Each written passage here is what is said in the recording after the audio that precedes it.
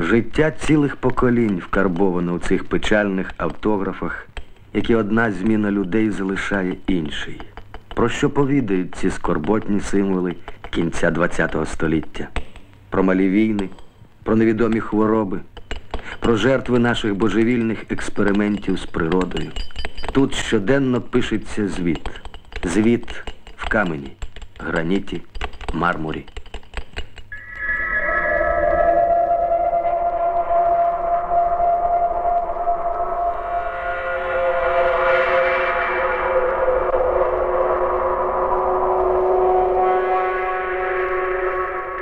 Цей символ створила сама природа, Чорнобиль або ще гіркий полин.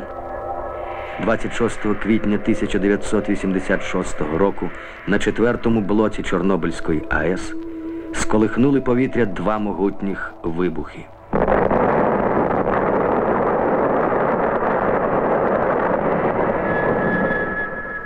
У цьому місті жили зі своїми сім'ями енергетики майже 40 тисяч чоловік.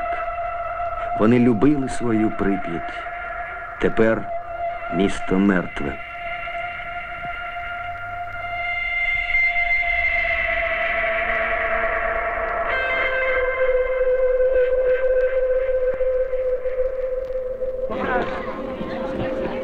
За покликом серця під опікою Червоного Христа України ці казково прекрасні, але приречені місця відвідали учасники молодіжного руху Некстоп.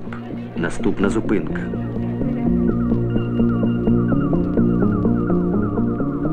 Шведи, датчани, японці, французи, американці, фіни, норвежці. Перед цим вони бойкотували атомний полігон у штаті Невада. І ось тепер Чорнобиль. Хай нікого не вражають прикро ці люди. Вони відмовилися полишити рідні місця, нехтуючи небезпекою, що загрожує їм. Існують кілька поглядів на малу радіацію. Одні вважають, що малі дози радіації у межах декількох рад благотворно впливають на здоров'я людей.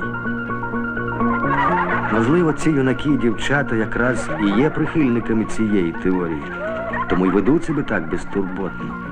Приїхали сюди з далеких країв, щоб у Чорнобильській зоні набратися здоров'я.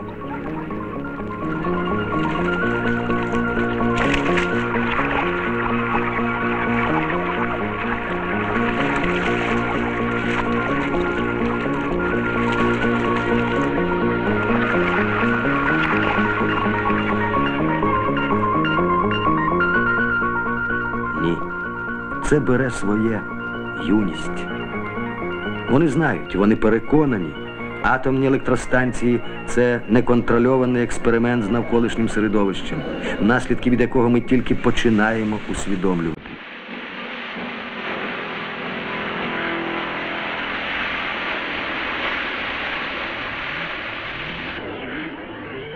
Останнє наметове містечко цього походу було розкинуте на кордоні забороненої 30-кілометрової зони.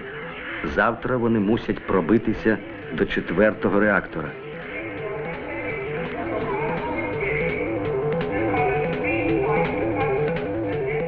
Символічними квітами життя вони розмальовують свої тіла.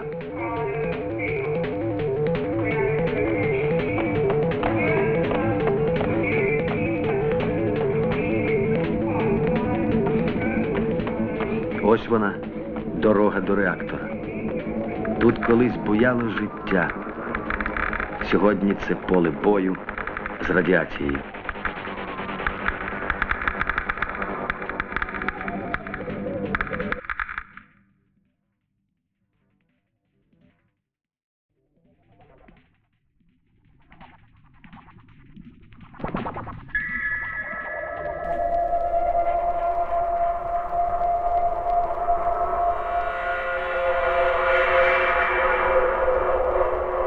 Чорнобиль.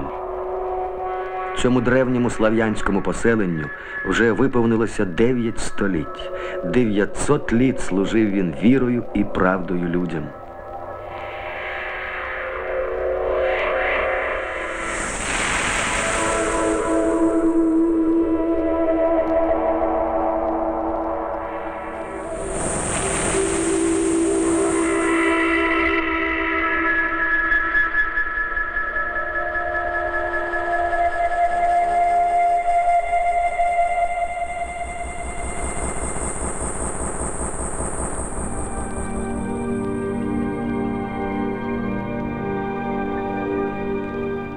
Тут, у залишеному мешканцями будинку, поселився Віварій Інституту проблем онкології Академії наук України.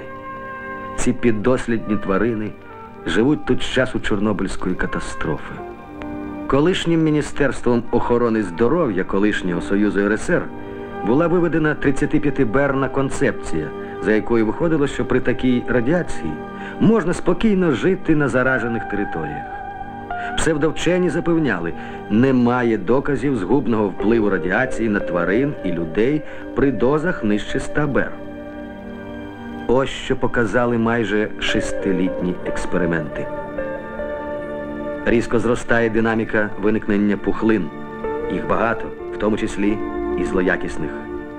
На третину скоротилося життя піддослідних тварин, у них порушено кровообіг, імунний статус.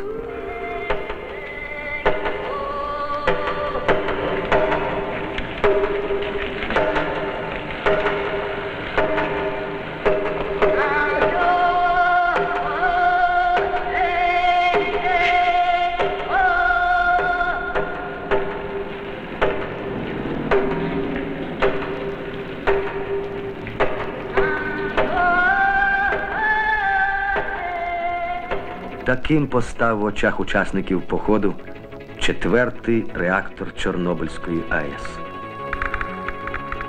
За багатометровою товщою бетону всередині саркофага ще ятріє ядерна смерть, уранове паливо.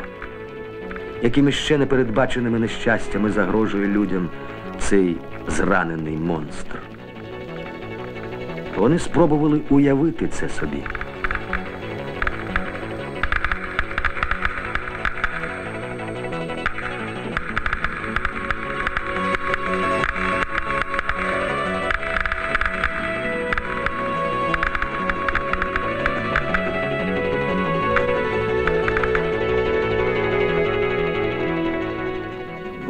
Світ в огні. Зупинись, задумайся, дій. Ніяка економічно вигідна енергія не дає нам права приносити в жертву здоров'я людей, калічити людські душі, скорочувати життя. Геть опромінену одіж, хай полум'я знищить смертельний обман, хай людські тіла прикрашають тільки квіти життя.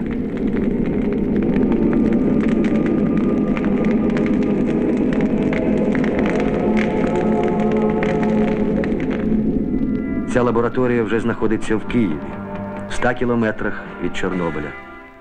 Всебічні експерименти підтверджують найбільш вирогідний погляд на малу радіацію, а саме, довготривала радіація низьких рівней призводить до значно більших біологічних ефектів, ніж рівноеквівалентні дози короткочасних випромінювань високих рівней. Треба брати до уваги ще й таке. Спектр радіонуклідів в Чорнобилі і довкола нього це стронцій, цезій, трансуранові елементи, гарячі частинки, що є найгіршою комбінацією, яка коли-небудь виникала в радіоактивних зонах. Роки, що минули після аварії, позначені збільшенням захворювань і смертей серед населення.